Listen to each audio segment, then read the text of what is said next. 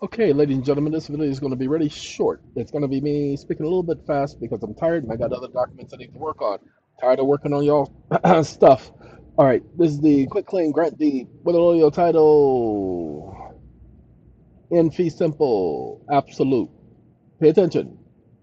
My suggestion that you all quick claim your grant, I mean, click quick claim your deeds, turn it into a grant deed with the quick claim deed and file it on the record in fee simple allodial title and then let them battle that and deal with that. Put it into a trust, but you have to create the right trust. Those of you who have the mega trust and the micro trust, hey, perfect. Those of you who have SAT packs, put it in your SAT pack. That's a trust as well. Y'all need to pay attention.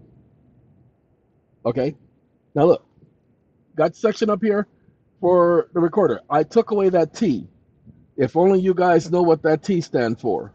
That means they take control of the document. I took that away and I did it on purpose. You, you, there's no law requiring you to have that T. Now, if you don't know what the T is, then shut up because that means you don't need to know. What? Cats, a lot of cats have died, okay? A lot of cats have died. You don't want to die, so stop being so curious. All right? Ladies and gentlemen, the T is that thick black line at the bottom with the line going up here. Those are boxes. Those are controllers. They control the document. You don't want nobody controlling your document. So here's your document. Oh, by the way, put a couple of cases here for y'all to know. And then throughout the document, there are cases throughout. See, cases. And hold on now. Oh, oh, you're going to love this section right here. 11 statements. I have attained the age of the majority. I am the owner of the certificate of live birth that is attached to this presentment. I am competent, sentient, and hereby forever take possession of all my property. That I do terminate any and all fiduciary relationships associated with my property. Get rid of all those custodian contracts. You know what I'm saying? That's what we did for y'all. All right, that took an hour because we had to figure out the most succinct things to do and say without there being a headache.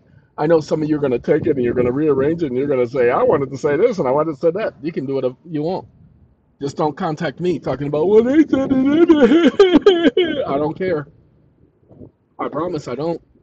So don't contact me when something doesn't go the way you want it to go, since you did it Frank Sinatra's way.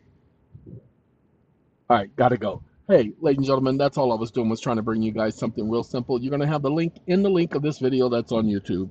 It's only gonna be on YouTube. So there you go. Have a good day. Have a coconut smile. I'm out of here.